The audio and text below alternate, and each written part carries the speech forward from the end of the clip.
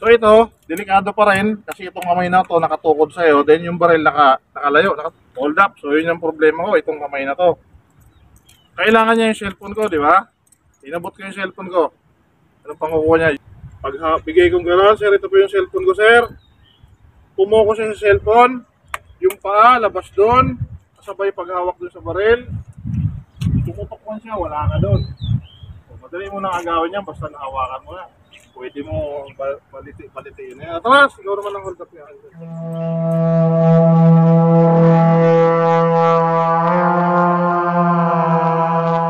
Okay guys, good morning. Welcome to my vlog. Maraming maraming salamat po sa inyong pagsuporta dun sa aming mga naunang video ng disarming.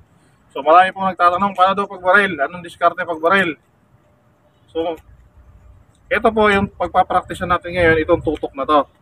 So ito, delikado pa rin kasi itong kamay na to nakatukod sa'yo, then yung baril naka, nakalayo, nakatutok yan, tutok mo. Di ba? So ang problema niya dito, anong ang pangukuha niya nung, halimbawa, kinukuha niya cellphone ko.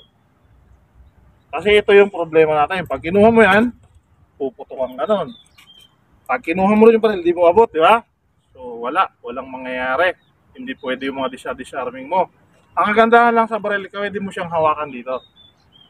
Pag nahawakan mo yan dyan, ito lang yung nakakamatay sa kanya, dulo, bubuga kasi yan. So ang, ang purpose natin ay mahawakan mo yan, maalis mo yan yung, maalis mo yung tutok sa'yo. Para pag pumutok man yan, hindi sa'yo pupunta. Kahit suntukin ka nito, okay lang. Huwag mong bibitawan to, baril yan. eh. So ngayon ang gagawin ko, tutok. Hold up. So yun yung problema ko, itong kamay na to. Kailangan niya yung cellphone ko, di ba? Inabot ko yung cellphone ko. Anong pangukuha niya? Yun. Wala na. Titingnan niya kung anong klase yung cellphone. Uy, nahawakan ko.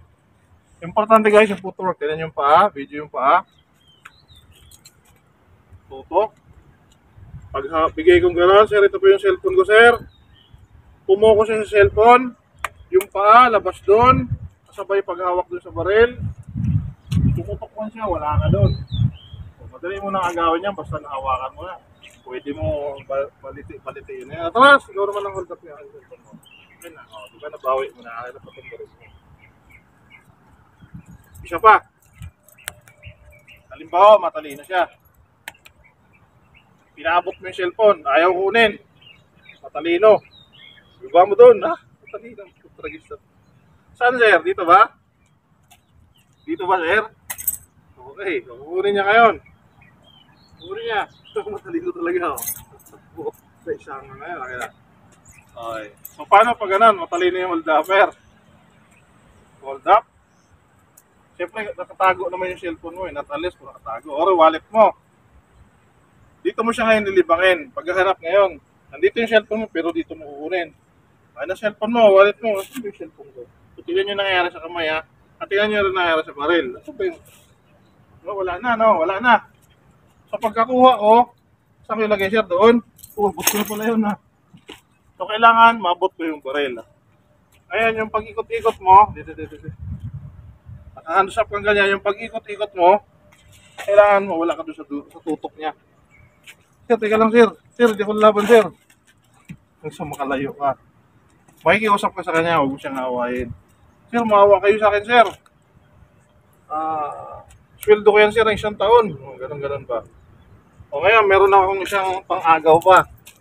Ay, tuturo sa inyo. I-stop mo. I-play mo. Ito yung isang pangagaw. Halimbawa, nakaganyan, tutok braille. Kaya, pera mo na. So, yun, agaw na, akin na. Pinahiram niya eh.